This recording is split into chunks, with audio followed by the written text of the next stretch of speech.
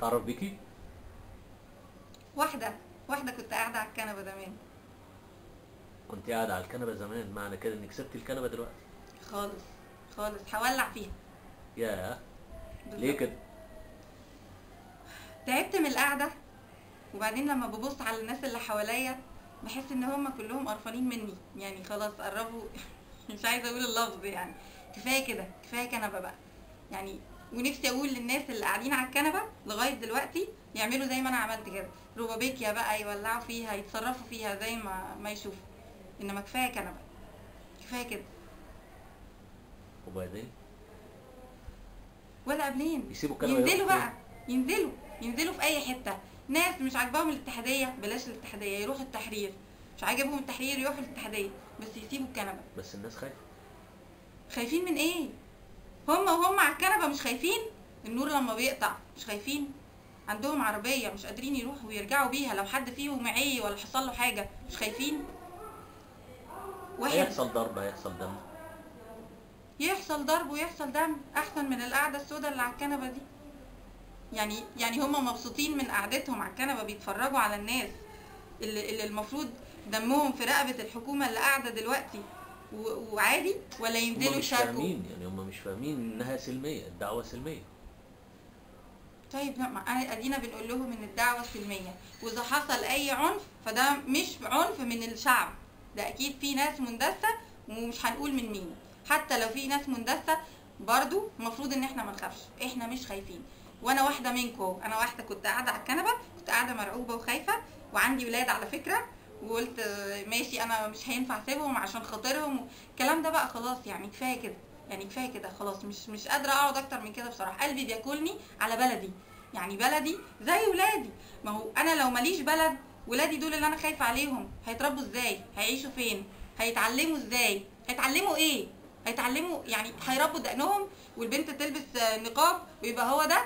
هي دي السياسة لا مش معنى إن أنا بعرف دين يبقى أنا بعرف سياسة. لا هما يفضلوا يعلموا ولادنا الدين إحنا على عينينا وعلى راسنا.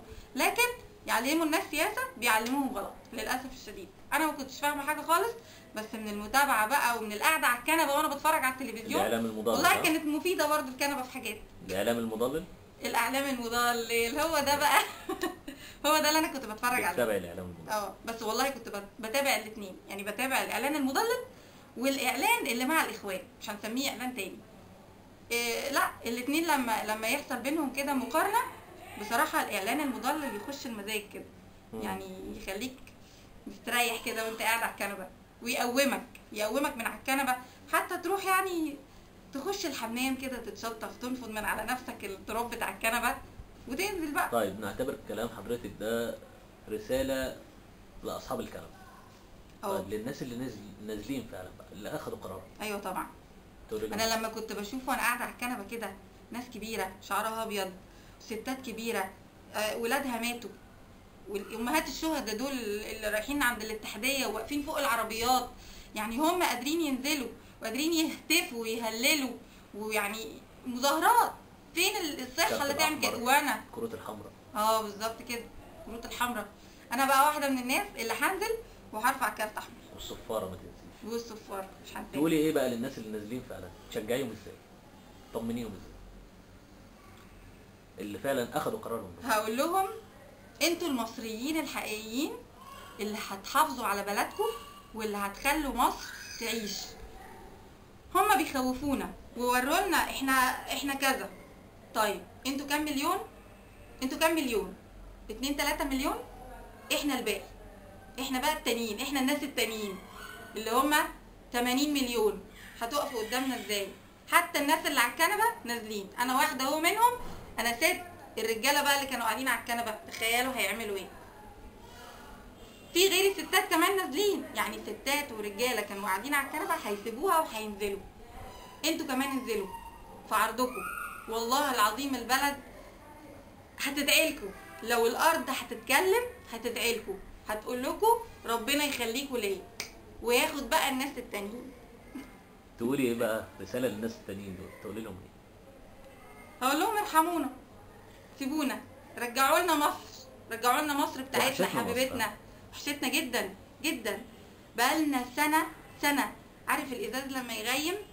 هما بقى كل شوية يحطوا إيديهم ويعلموا ويعلموا ويعلموا ويعلموا. إحنا مش شايفينها مش شايفين. خلاص أجزاء ملطشة كده. عارف انت اللي هو إيه؟ كل حاجة سليمة بس لوحدها. هي مصر بقت كده. كل حاجة سليمة بس لوحدها. إحنا بقى عايزين نرجعها ننضفها نظبطها. كل اللي في الشارع دول عارف المهندسين؟ كأنهم يبقوا مهندسين. يبعدوا بقى الناس اللي مش فاهمين دول ويجيبوا المقشات ويكنسوا وينضفوا معنى كلامك معنى كلامك إن الفرصة التانية خلاص راحت إن إحنا نديله فرصة تانية؟ هو إحنا ادينا له فرصة أولى وتانية وتالتة؟ ده بقاله سنة يا معلم. بقاله سنة. سنة. أخد كام فرصة؟ ملحقش. ملحقش آه. هو الحقيقة هو الظاهر إن هو فعلا مش هيلحق. إن شاء الله مش هيلحق. قضي يعني- الأمر يعني؟ قضي الأمر. خلاص. يعني انتهى. مش ه... مش هنقدر. يعني بيتهيألي اللي بيقول نديله فرصة تانية ده يعني محتاج إن هو يتحاكم يتحاكم محاكمة عسكرية محاكمة ع- عادلة ويعدم. إنما يوم 30 إن شاء الله. إن شاء الله. أنا قلت لك إن أنا حرقت الكنبة هقعد على إيه في البيت؟ لازم أنزل 30 بنشكرك جدا. ربنا يخليك.